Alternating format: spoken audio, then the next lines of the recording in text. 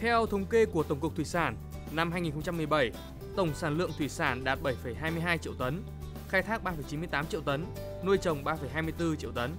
Giá trị kim ngạch xuất khẩu đạt 8,317 tỷ đô la Mỹ, tăng 19% so với cùng kỳ năm 2016. Điều đặc biệt hơn, đây là một năm mà thủy sản Việt Nam vừa được mùa, vừa được giá. Năm 2018, ngành thủy sản đặt mục tiêu phấn đấu tốc độ tăng giá trị sản xuất 5,3 đến 5,8%. Tổng sản lượng thủy sản đạt từ 7 đến 7,5 triệu tấn. Trong đó sản lượng khai thác thủy sản là 3 đến 3,5 triệu tấn. Trong đó chủ yếu khai thác ven bờ nhằm bảo vệ nguồn lợi thủy sản. Sản lượng nuôi trồng thủy sản đạt 4 triệu tấn. Mục tiêu kim ngạch xuất khẩu thủy sản đạt 9 tỷ đô la Mỹ trong năm 2018. Chào mừng quý vị và các bạn đã đến với chương trình Việt Nam và Thế giới của Đài truyền hình Việt Nam. Thưa quý vị, Việt Nam là một trong những nước có tiềm năng và lợi thế trong phát triển ngành thủy sản. Trong những năm qua, các nguồn lợi thủy sản đã được phát huy và thu nhập từ các nguồn lợi này chiếm tỷ trọng ngày càng cao trong thu nhập quốc dân. Quy mô ngành thủy sản tăng lên đáng kể, cơ cấu ngành cũng chuyển dịch theo hướng phục vụ xuất khẩu. Tuy nhiên, trong quá trình phát triển ngành thủy sản Việt Nam cũng gặp không ít khó khăn thách thức như là khai thác thủy sản phát triển tự phát, khó kiểm soát, thiếu bền vững, công tác bảo vệ và phát triển nguồn lợi thủy sản còn hạn chế, dẫn đến nguồn lợi thủy sản suy giảm nghiêm trọng.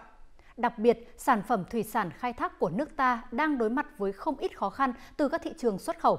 Vậy đâu là những giải pháp cho vấn đề này? Làm cách nào để phát triển ngành thủy sản của Việt Nam một cách bền vững? Và xin được trân trọng giới thiệu tham dự trong chương trình Việt Nam và Thế giới tuần này là ông Nguyễn Hoài Nam, Phó Tổng Thư ký Hiệp hội Chế biến và Xuất khẩu Thủy sản Việt Nam VASET. Xin cảm ơn ông đã đến tham dự chương trình ngày hôm nay.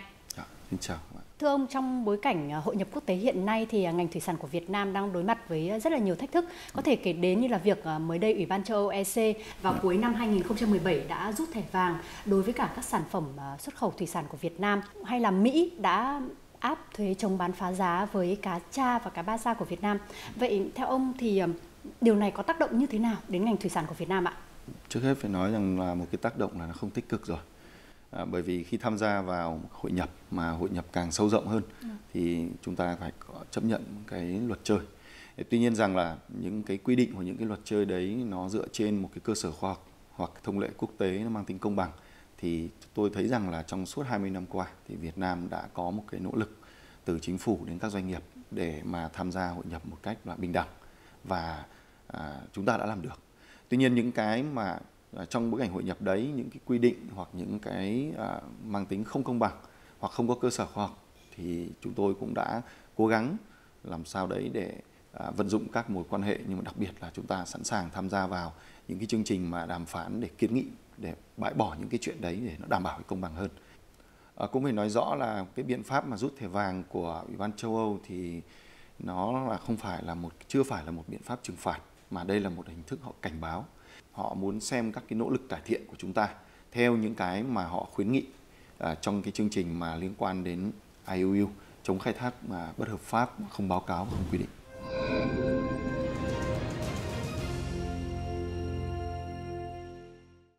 Quan quản lý cũng như là chính các ngư dân đang nỗ lực để sớm thoát khỏi thẻ vàng mà Ủy ban châu Âu cảnh báo vào cuối tháng 10 năm ngoái.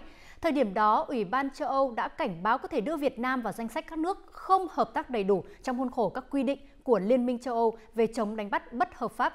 Liên minh châu Âu chỉ cho phép nhập khẩu hải sản có nguồn gốc rõ ràng được đánh bắt một cách hợp pháp. Trách nhiệm xã hội và môi trường trong quy trình sản xuất đang trở thành một tiêu chí nữa đối với thủy sản xuất khẩu của Việt Nam. Và sau đây xin mời vị khách mời cũng như là khán giả cùng theo dõi phóng sự của nhóm phóng viên thường trú Đài truyền hình Việt Nam tại châu Âu. Lần đầu tiên, cá Việt Nam xuất khẩu sang châu Âu có thể bị ngăn cản, không phải là do chất lượng sản phẩm mà là do cách thức đánh bắt. Cá phải được đánh bắt hợp pháp, không hủy hoại môi trường biển. Đây không phải là rào cản dành cho sản phẩm nhập khẩu.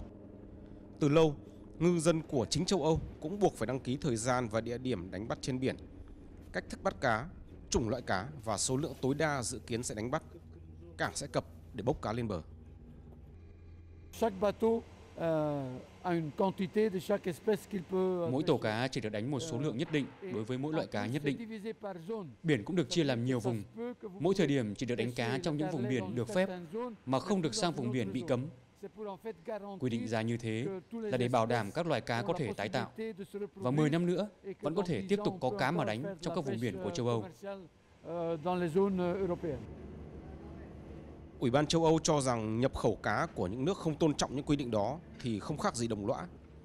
Vậy nên mới có hệ thống thẻ vàng, thẻ đỏ. Thẻ vàng cảnh báo, thẻ đỏ cấm bán hàng vào châu Âu. Ở Đông Nam Á thì đã có Thái Lan và Philippines đã từng nhận thẻ vàng, Campuchia từng nhận thẻ đỏ của Ủy ban châu Âu. Nay tới Việt Nam nhận thẻ vàng.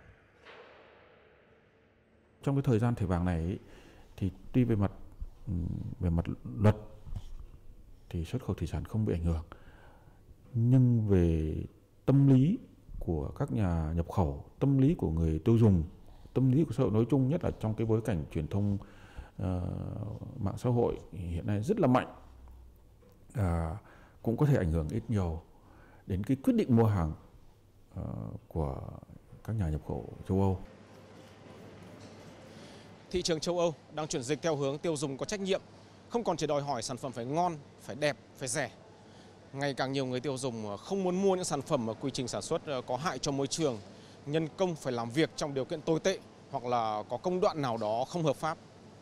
Các doanh nghiệp bán lẻ nơi đây buộc phải chiều theo khách hàng. Ngày càng có nhiều siêu thị khẳng định tôn trọng trách nhiệm xã hội và môi trường để có thể bán được nhiều hàng. Lê Hồng Quang, phóng viên truyền hình Việt Nam từ châu Âu.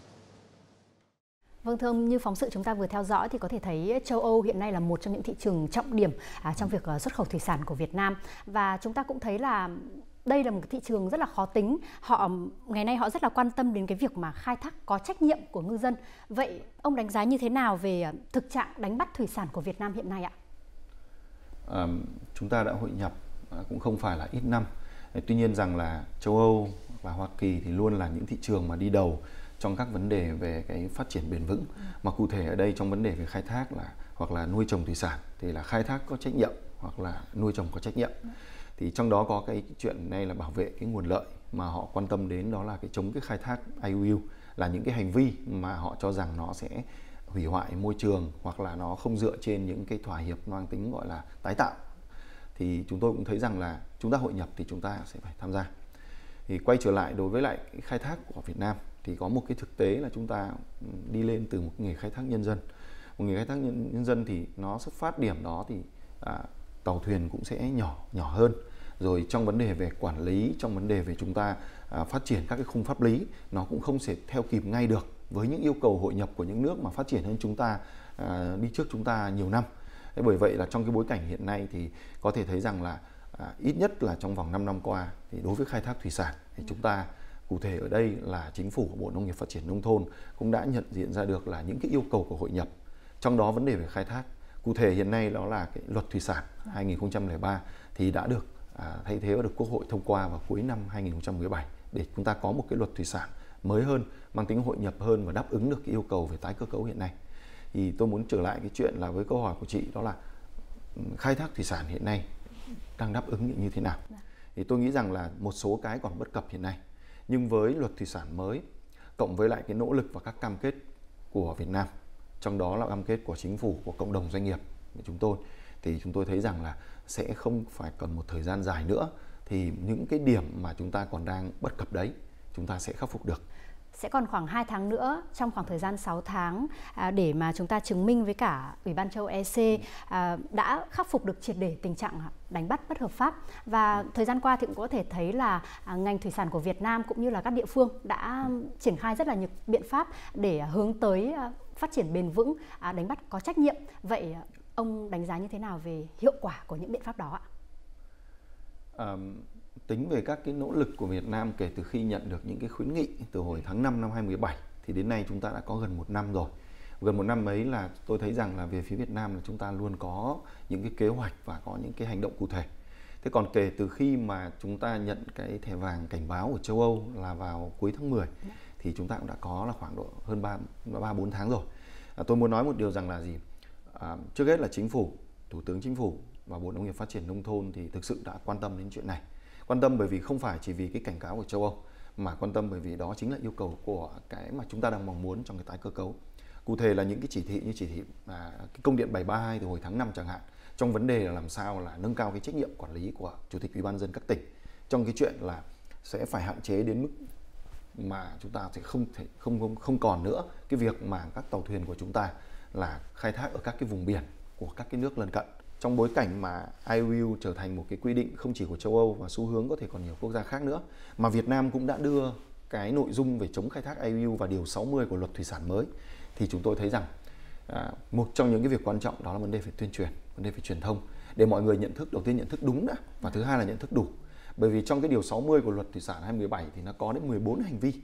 14 cái cái hành vi đấy được coi là sẽ vi phạm về IOU thì bà con ngư dân à, rồi những người tham gia vào công tác khai thác, bảo quản hay là vận chuyển rồi doanh nghiệp trong vấn đề chế biến xuất khẩu đều chung một cái nhận thức thì đầu tiên là chúng ta nhận thức tốt thì nó sẽ điều chỉnh trong vấn đề là chúng ta sẽ có một cái chấp hành một cái thực hiện nó sẽ tốt hơn. Bên cạnh đấy thì phía bên cộng đồng doanh nghiệp chúng tôi thì cũng à, có được một cái cam kết mà tôi cũng thấy rằng là chưa à, cũng là một cái hiếm hoi mà khi cộng đồng doanh nghiệp hải sản mà đang xuất khẩu vào châu Âu chúng tôi có một cái nỗ lực để chung tay cùng với chính phủ.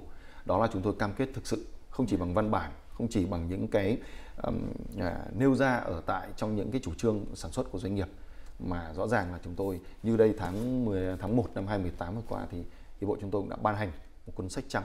Cuốn sách trắng này bằng hai ngôn ngữ và chúng tôi cũng gửi đến cả phía bên phái đoàn châu Âu tại Việt Nam. Chúng tôi muốn khẳng định rằng là với các cái nỗ lực có trọng tâm của chính phủ của bộ nông nghiệp và các cái cam kết đồng hành của phía doanh nghiệp thì trong thời gian qua ngắn ngủi vừa qua Đã. thì cũng đã rất nhiều việc đã làm được tuy nhiên rằng còn nhiều việc nữa thì tôi cũng hy vọng rằng trong hai ba tháng tới à, sẽ cái chung tay này à, sẽ giải quyết được. Cảng cá Phú Lạc, tỉnh Phú Yên sáng mùng 4 Tết. Tàu cá PI 90458 trở về sau một tháng bám biển. Giữa chuyến biển, tàu cá này đã gửi về trước 20 con cá ngừ đại dương. Ngày hôm nay, thêm 40 con cá nữa được bốc rỡ ra khỏi tàu. Với ngư dân, đây là lộc biển đầu năm. Thấy là quá ờ, tuyệt vời. Vô là vừa kịp đầu năm mới mà vừa trúng ké nữa. Nhiều tháng qua ở các tỉnh Nam Trung Bộ, một trong những nơi đứng đầu cả nước về khai thác xa bờ, các biện pháp từ tuyên truyền đến kiểm tra, giám sát được tăng cường nhằm ngăn chặn khai thác bất hợp pháp và đã có sự thay đổi rõ rệt trong nghề cá của ngư dân kể từ đầu mùa khai thác này. Bà con họ là cũng ờ, đi ra để xuất trình đàng hoàng, biên phòng là cũng kiểm tra đàng hoàng. Đó là phải ghi chép đàng hoàng, là anh đã đi phải đánh bắt vùng nào, vì có ghi chép, ghi mã số ghi để vô cho là biết là con cá đó là đánh vùng nào ngày mở biển mang về nhiều cá. Và quan trọng hơn, tất cả chỗ cá này đều được các doanh nghiệp thu mua xuất khẩu, khi đây là kết quả của chuyến biển tuân thủ đúng các quy định khai thác. Còn tại huyện Bình Sơn, tỉnh Quảng Ngãi, vốn là nơi có số lượng tàu cá và ngư dân vi phạm ngư trường quốc tế nhiều nhất cả nước. Ngay trong những ngày đầu năm này, các địa phương trong huyện đã tổ chức các buổi tuyên truyền kêu gọi ngư dân không xâm phạm vùng biển nước ngoài xâm phạm vùng biển nước ngoài nó ảnh hưởng đến vùng biển đến ngư dân Việt Nam rất là nhiều, có ảnh hưởng đến hình ảnh của đất nước rất là nhiều. Riêng bản thân tôi thì tuyệt đối không không đưa tàu ờ, xâm phạm vùng biển của nước ngoài. Ngư dân nào đánh bắt thủy sản trái phép hiện cũng đang bị địa phương xử lý kiên quyết. Tàu cá vi phạm bị niêm phong 6 tháng, thuyền trưởng vi phạm sẽ bị tạm giữ bằng 3 tháng. Nghiệp đoàn nghề cá xã Bình Châu cho rằng các biện pháp cứng rắn sẽ hạn chế tối đa tình trạng đánh bắt thủy sản trái phép tuyên truyền giáo dục rồi mà những cái cái cái đoàn viên nào mà cố tình mà vượt ừ, qua cái vùng biển nước ngoài xâm phạm thì phải nó đưa ra có cái nghiệp luật. Nếu các ngư dân mà vi phạm vùng biển nước thì theo các chế độ chính sách của nhà nước như quyết định 48 của chính phủ, nghị định 67 của chính phủ, à, quyết định 191 của Ủy ban tỉnh Quảng Ngãi thì huyện sẽ không xem xét hỗ trợ các chính sách đối với các ngư dân. Huyện Bình Sơn quyết tâm là trong năm 2018 là chấm dứt cái tình trạng ngư dân của xã Bình Châu nói riêng, huyện Bình Sơn nói chung là vi phạm vùng biển nước. Trong năm 2018, nhiều địa phương ven biển của Việt Nam quyết tâm chấm dứt tình trạng ngư dân đưa tàu ra nước ngoài đánh bắt trái phép, tăng cường siết chặt hoạt động nghề biển.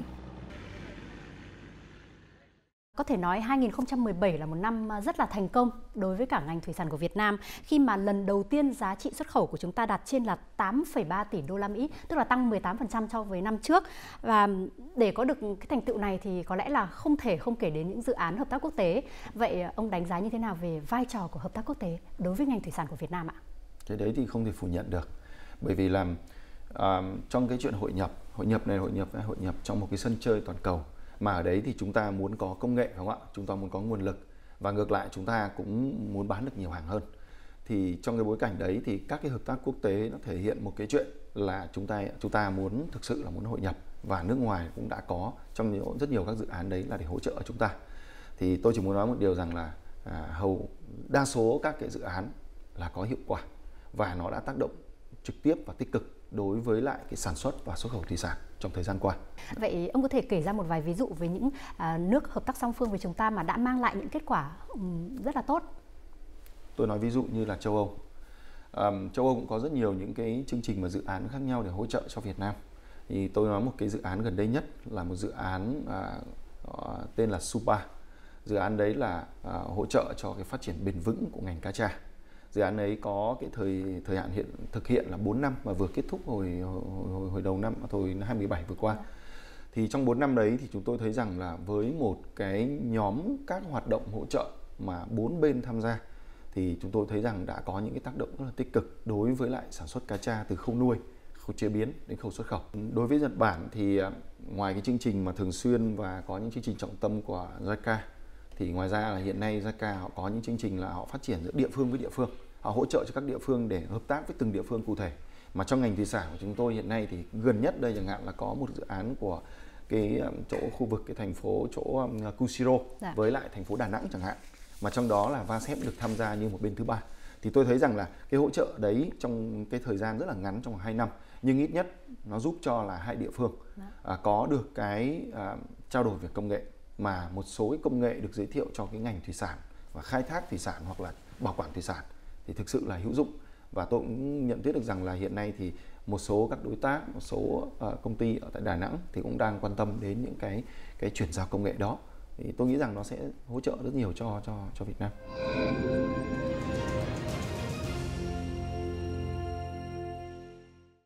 Thưa quý vị, đảm bảo sản xuất nuôi trồng thủy sản bền vững là một thách thức chính cho an toàn và an ninh thực phẩm thủy sản của không chỉ Việt Nam mà là trên quy mô toàn cầu. Châu Âu nhập khẩu khoảng gần 70% sản phẩm thủy sản tiêu dùng, trong đó chủ yếu đến từ Đông Nam Á, vùng sản xuất lớn nhất thế giới. Vì vậy, hai vùng có chung sự quan tâm lớn đối với việc phát triển các giải pháp bền vững, đặc biệt liên quan đến đổi mới công nghệ, hiệu quả tài nguyên, giảm thiểu tác động môi trường, hài hòa các tiêu chuẩn và thị trường. Ví dụ từ một dự án chuỗi cung ứng cá tra bền vững đạt chuẩn châu Âu tại đồng bằng sông Cửu Long. Chuỗi cung ứng cá tra bền vững với những tiêu chí khắt khe về môi trường và quy trình nuôi đang là cách dự án của Liên minh châu Âu hỗ trợ cho trại cá này. Từ khâu nhân giống tới nuôi trồng được giám sát chặt chẽ theo tiêu chuẩn châu Âu. Sản lượng cá tra luôn được đảm bảo ổn định ở mức 5 đến 6.000 tấn mỗi năm. Tôi nuôi mật độ nó thưa hơn, thì nuôi thưa vậy thì nó thứ nhất là cá nó mau phát triển, cái thứ hai là cái chất lượng thịt nó cải thiện, cái thứ ba là nó ít có ô nhiễm môi trường hơn. Dự án của Liên minh châu Âu về nuôi trồng thủy sản bền vững SUPA do Trung tâm Sản xuất sạch hơn Việt Nam, Hiệp hội Chế biến và Xuất khẩu Thủy sản Việt Nam VASEP và Tổ chức Quỹ Bảo vệ Quốc tế Thiên nhiên phối hợp triển khai. Quy trình sản xuất con cá tra thân thiện với môi trường dựa trên bộ tiêu chí ASC là một trong những mục tiêu mà dự án này hướng tới để thâm nhập thị trường châu Âu. Các nước đã phát triển thì nhận thức của người tiêu dùng về môi trường ngày càng tốt hơn, do đó là họ yêu cầu những cái sản phẩm có trách nhiệm về mặt môi trường và xã hội ngày càng cao. Nếu mà chúng ta cứ tập trung sản xuất vào những cái sản phẩm mà dựa trên cái lợi thế cạnh tranh là giá rẻ và sản xuất với số lượng lớn thì chúng ta sẽ mất đi cái phân khúc ờ, thị trường mà phân khúc này thì ngày càng phát triển. Châu Âu là thị trường xuất khẩu chính của công ty này, tỷ trọng xuất khẩu chiếm hơn 30%. Chứng nhận theo tiêu chuẩn ASC là sự xác nhận cấp quốc tế đối với thủy sản được nuôi có trách nhiệm, giảm thiểu tối đa tác động xấu lên môi trường. Chứng nhận ASC đang trở thành một tờ giấy thông hành để công ty này tăng thị phần cá tra Việt Nam tại châu Âu. Sau khi mà mình đã đạt được chứng nhận ASC thì à, cái cái thị trường bán hàng của mình được rộng, được mở rộng hơn và nó xâm nhập vô vô tất cả được những thị trường khó tính như là Anh Quốc. Cái công ty đang đạt cái chứng nhận ASC là khoảng 30 cho tới 40% nhưng mà sắp tới công ty nó sẽ phấn đấu lên thêm 20% nữa sẽ dự kiến sẽ đạt lên 50 tới 60% tất cả những bộ tiêu chí đó đều có một căn bản là nó tôn trọng cái mong muốn của người tiêu dùng và đều dựa trên cái nền tảng cái sản xuất phải có chất lượng. Cho nên đối mặt của một cái doanh nghiệp hiện nay quá nhiều cái tiêu chuẩn và như vậy chi phí phải trả cũng khá cao. Nhưng mà việc mua bán thì phải chấp nhận vậy nếu không có thì người ta không mua hàng. Cá tra Việt Nam đang gặp phải sự cạnh tranh rất lớn từ các loại cá thịt trắng châu Âu và cá rô phi Trung Quốc. Vì vậy, theo các chuyên gia, nếu không kịp thời thay đổi tư duy và cách làm, xuất khẩu cá tra sang EU sẽ tiếp tục gặp khó.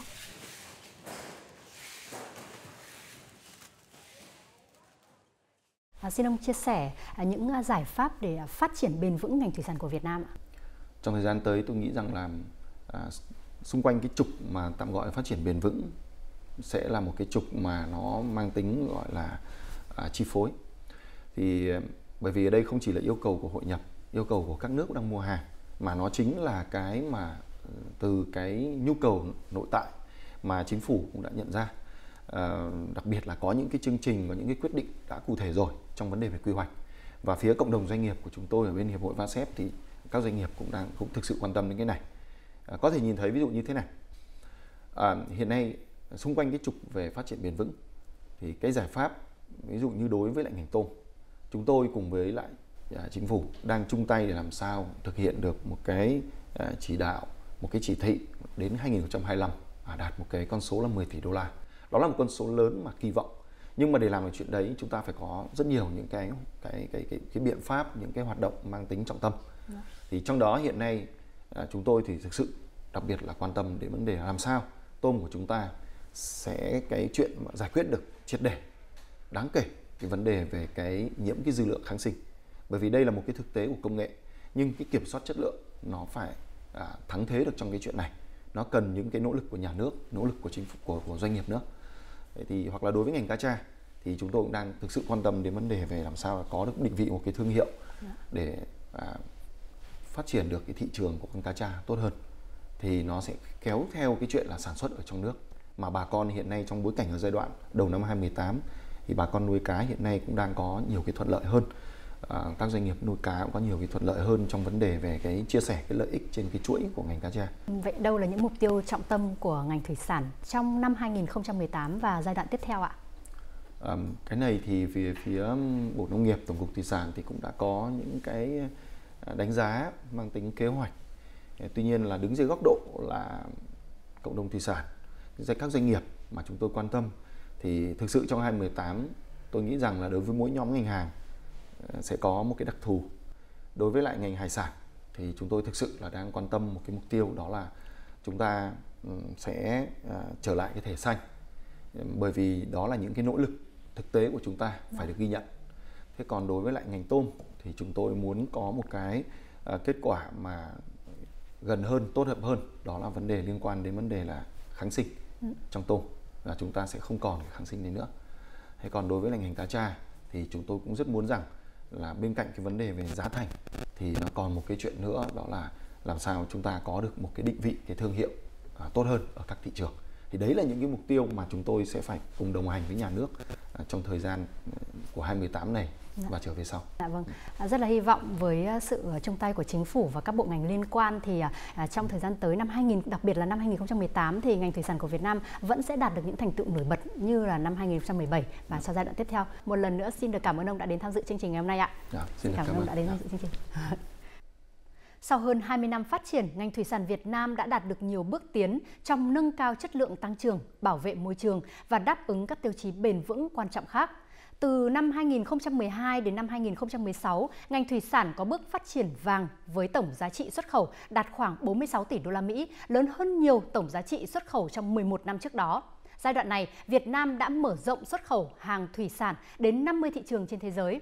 Từ nay đến năm 2020, chính phủ đề ra mục tiêu phấn đấu giữ ổn định sản lượng khai thác thủy sản ở mức là từ 2,4 đến 2,6 triệu tấn một năm. Tốc độ tăng giá trị sản xuất bình quân là 11% một năm. Để đảm bảo nguồn cung ứng cho thị trường, chính phủ và các cơ quan chức năng sẽ tiếp tục có nhiều chính sách về khai thác đánh bắt bền vững nguồn thủy sản biển, mở rộng quy mô nền sản xuất. Và trước khi kết thúc chương trình, xin mời quý vị cùng theo dõi phần điểm các tin tức có liên quan đến Việt Nam được đăng tải trên báo chí quốc tế tuần qua. Việt Nam giành lại vương miện chứng khoán châu Á là tiêu đề một bài phân tích trên trang Bloomberg của Mỹ. Theo Bloomberg, chỉ vài tuần trước, ảnh hưởng của đợt bán tháo trên thị trường chứng khoán thế giới đã khiến Việt Nam tuột khỏi vị trí thị trường chứng khoán tăng điểm mạnh nhất châu Á từ đầu năm. Tuy nhiên, sự bi quan không kéo dài lâu. Chứng khoán Việt Nam đã giành lại chiếc vương miện và đây có thể mới chỉ là sự khởi đầu. Một cuộc khảo sát với sự tham gia của 10 chiến lược gia được Bloomberg thực hiện, dự báo chỉ số VN Index sẽ còn tăng và sẽ vượt mức đỉnh thiết lập vào tháng 3 năm 2007. Kết quả khảo sát cho rằng VN Index sẽ đạt mức 1.210 điểm vào cuối năm nay. Các nhà đầu tư nước ngoài hào hứng trở lại với chứng khoán Việt Nam khi nền kinh tế Việt Nam đạt tốc độ tăng trưởng vào hàng nhanh nhất thế giới. Tăng trưởng lợi nhuận doanh nghiệp cũng giữ vững bất chấp những biến động gần đây trên thị trường toàn cầu. Hãng tin BBC của Anh đăng một phóng sự xoay quanh việc chính phủ Việt Nam đã nỗ lực như thế nào trong những năm gần đây để đưa những người Việt đã và đang du học hay làm việc tại nước ngoài về làm việc tại Việt Nam. Theo BBC, những nỗ lực của chính phủ Việt Nam đã tạo ra một khung cảnh sôi nổi đối với cộng đồng doanh nhân công nghệ, nơi có rất nhiều doanh nghiệp startup. Bên cạnh đó, dân số trẻ và có trình độ cao của Việt Nam đang tạo ra một động lực rất lớn để biến thành phố Hồ Chí Minh trở thành một trong những thung lũng silicon ở châu Á. Trang tin tức thực phẩm của Trung Quốc đăng bài bình luận về những thành tựu của ngành tôm Việt Nam trong thời gian gần đây. Cụ thể, năm 2017, kim ngạch xuất khẩu tôm Việt Nam đạt 3,8 tỷ đô la Mỹ, tăng 20% so với năm 2016. Bằng việc áp dụng khoa học công nghệ, hiện nay Việt Nam đã tự sản xuất và cung ứng tôm giống, đáp ứng khoảng 25% nhu cầu trong nước, thay vì phải nhập khẩu 100% tôm giống như trước kia. Việt Nam đặt mục tiêu đến năm 2025 xuất khẩu tôm đạt 10 tỷ đô la Mỹ. Với đà phát triển như hiện nay, mục tiêu này là khả thi. Về mặt lâu dài, để ngành tôm phát triển bền vững, Việt Nam cần ưu tiên nâng cao chất lượng và xây dựng thương hiệu. Khách du lịch nước ngoài đến Việt Nam trong tháng 2 đạt mức cao với 1,43 triệu lượt khách. Đây là thông tin được trang NNA của Nhật Bản đăng tải. Lượng khách quốc tế đến Việt Nam tăng nhẹ so với tháng 1 và tăng gần 20% so với tháng 2 năm 2017, được đánh giá là một mức tăng trưởng khá cao. Trong đó tăng nhiều nhất là du khách đến từ Trung Quốc, tiếp theo là Hàn Quốc, Mỹ và Nhật Bản. Trang Bass website của Pháp đăng bài giới thiệu về 7 địa điểm còn ít được biết đến ở Việt Nam mà du khách nên ghé thăm. 7 địa điểm đó là Cung đường Hà Giang, chợ Đông Ba tại thành phố Huế, hàng múa ở Ninh Bình, vườn quốc gia Ba Bể tỉnh Bắc Cạn, tour ẩm thực tại quận 5 thành phố Hồ Chí Minh, chợ đêm cuối tuần ở Đà Lạt và cuối cùng là đỉnh bàn cờ trên bán đảo Sơn Trà, Đà Nẵng. Đến với 7 địa điểm này, du khách sẽ được khám phá những cảnh sắc thiên nhiên tuyệt đẹp, thưởng thức những món ăn địa phương đặc sắc và tìm hiểu những nét văn hóa độc đáo của đất nước Việt Nam. Chương trình Việt Nam và Thế giới tuần này cũng xin được khép lại tại đây. Cảm ơn sự quan tâm theo dõi của quý vị và các bạn. Để theo dõi lại các chương trình, xin hãy truy cập vào trang web vtv4.vn cũng như là YouTube. Xin kính chào tạm biệt và hẹn gặp lại trong các chương trình tiếp theo.